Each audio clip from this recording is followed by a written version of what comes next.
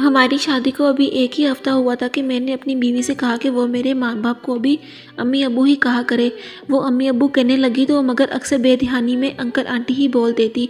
वो बहुत डरी और सहमी रहती थी।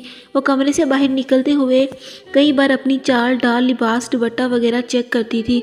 वो खुद अपनी नाकत बनी हुई थी।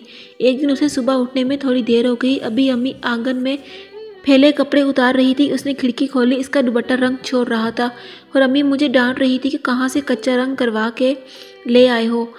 अम्मी अंदर गई, इसी रंग का अपना एक नफीस सा दुबट्टा ले आई और कहने लगी, इस उम्र की लड़कियाँ शलवार कमीज चाहे हल्के रंग की पहने, मगर उन्हें अपने दुबट्टे के रंगों से बड़ा प्यार होता है। आइंदा कभी कच्चा रंग ना करवा कर लाना। मैं दुबट्टा लिए कमरे में गया, उसने मेरे हाथ से दुबट्टा लेते हुए कहा मेरी अम्मी के दुबट्टे भी कभी रंग नहीं छोड़ते। उसने उसी शाम को वही दुबट्टा ओढ़ा और बाहर आ गई। अब इसके खौफ की जगह खुशी और शरारत ने ले ली। इसने मेरे हर रिश्ते को अपना लिया था।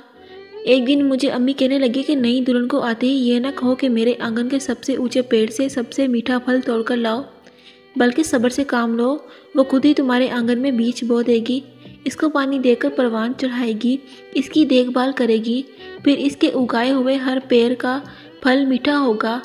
अल्लाह ताला सब बेटियों के नसीब अच्छे करे और उन्हें उनके घरों में आबाद रखे। आमीन।